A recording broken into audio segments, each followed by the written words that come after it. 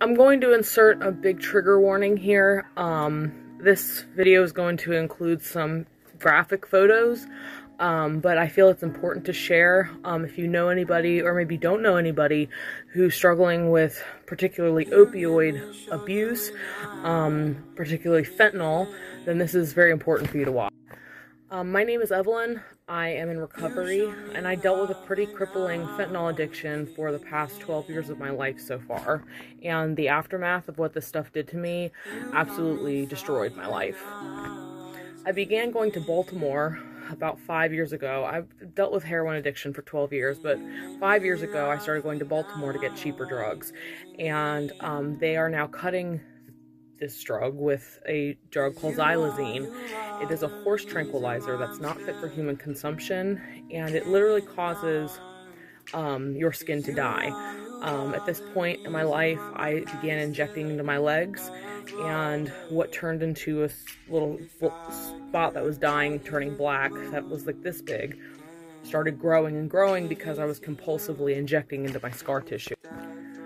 I had about 16 surgeries total. 12 of those were within a year because they would debride it and then cut me loose and I would go home and repeat the process all over again and I just was unable to stop. I almost lost my legs, I don't know how many times. I was septic. Um, this drug permanently gave me seizures disorder, which I never had before. Um, it was impossible to come off of on my own.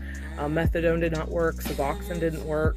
Um, I literally had to get arrested and be chained to the bed because I was unable to do it on my own. I share this to help someone someday to show you that it doesn't have to get this bad, um, to please not make the same mistake that I did. Um, this literally caused me so much misery and I had to grieve over what I had done to myself. Um, so I will show you the photos and I'll show you my legs and what they look like today. Um, I cannot show the before photos because TikTok will remove it for graphic content. Okay, so this is my left leg. Um, this is healed, but obviously this took several, several months. And then, um, this is my right leg. This one's a lot smaller in size, but it is much deeper. Like, it's basically choking the circulation off on my foot. Um, this is kind of a new thing, um, kind of crocodile um, is similar in Russia, but this is all over the world now. Philly, it's big, um, but I had never personally met anybody with, with wounds like mine. So I encourage you to share this, to try and help someone. Um, so um, just please get help. It doesn't have to get like this.